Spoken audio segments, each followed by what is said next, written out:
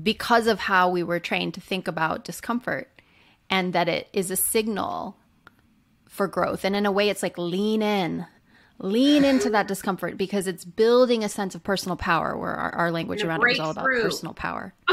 it's a breakthrough, right? It's a break, breakdown to breakthrough kind of thing. Well, I remember too that I used to call Wednesday Cry Day during the training weeks because oh. I would go up to the studios on Wednesday. So this the trainings would start on Saturday. They've been here Saturday, Sunday, Monday, Tuesday, Wednesday. Sunday, Monday, Tuesday, Wednesday is literally like seven to seven. They're at the studio, the trainees.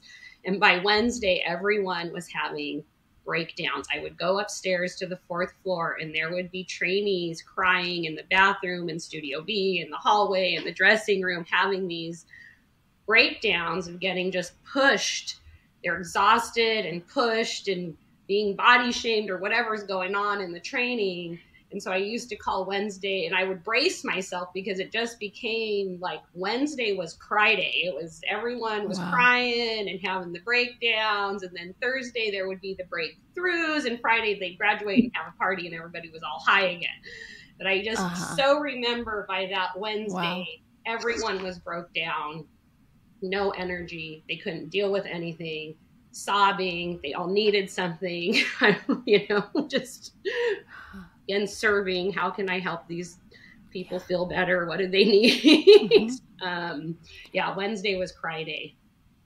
Well, that's wow. one of the hallmarks of a of a cult, right? Is like create, find a pain point, activate the pain point, and then deliver a solution. And it's like I'm tapping my arm here. It's like, give me more, give me more, give me more, give me more. It's it's so addictive. So that cycle playing itself out week after week with trainee after trainee.